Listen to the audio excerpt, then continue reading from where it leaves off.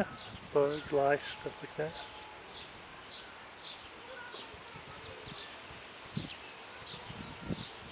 Must be dirty.